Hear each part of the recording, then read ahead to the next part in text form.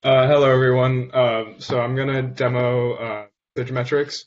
But the main idea behind it is that the uh, we want to see which versions of messages uh, Thoth is producing. Um, so we have to uh, consume it um, because that version is internal to the actual message. So if we start um, a consumer, um, this is in Investigator. We just uh, added logic uh, to change the mode that the investigators uh, running in. So it's in like a metrics mode. Um, and then we start um, one of our message producers. We go to metrics. We should be able to see here uh, once, message, once messages start being produced, which will take another like, couple seconds, um, that the default handler uh, will start creating these uh, missing from index total. Oh wait, this is actually matrices. Yeah, so this this is actually a custom uh, function running right now. So instead of logging the version, um, it's log logging uh, which index uh, packages are miss missing from. Uh, I was actually gonna demo the second, um, but it's good here too. So you can see that uh, from PyPI or .simple, we this is an old version of the database with not much uh, information, so it just has five missing from uh, PyPI.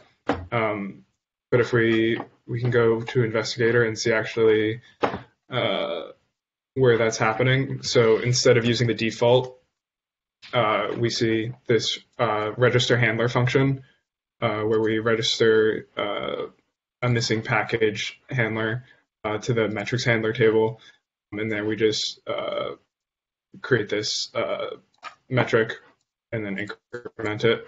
If you wanted to use the default here too, you could uh, import that from common and just call it with the comments.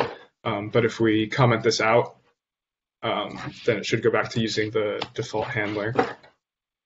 We'll stop this. That.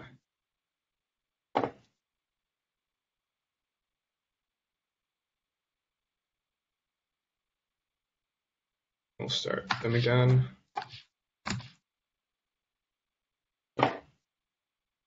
Back to metrics. So now everything's cleared.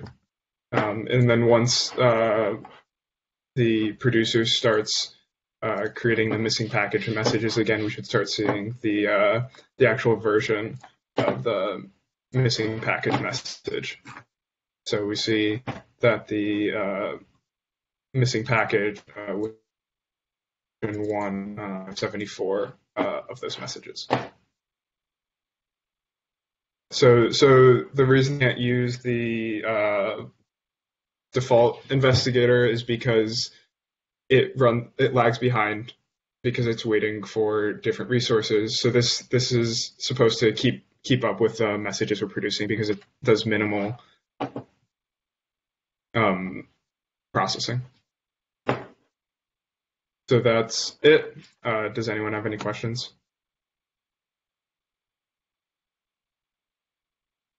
Mm, so uh, we have investigator and we can run it in two different modes. One is just accounting stuff, like like producing the metrics, and the other one is doing actual work. Correct?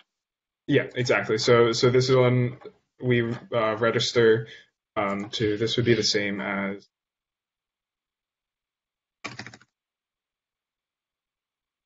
I don't remember the name, but there, there's another handler table um, with another name, and I created a default argument here, which is that that uh, handler table. So here. Okay, and um, um, I, I, I think I asked that uh, before. Um, the reason why that works out, that a single message is either process. No, it's not either or uh, why a single message is processed and counted is because it's different consumer groups, right? On, yeah. on the Kafka topic, every consumer group gets every message. Yep. So if, okay. as long as the two uh, two consumers are in different consumer groups, uh, both will run and not take each other's messages. Yes. Cool. Thanks. Um, any other question? Nice. Well, thanks, uh, Kevin.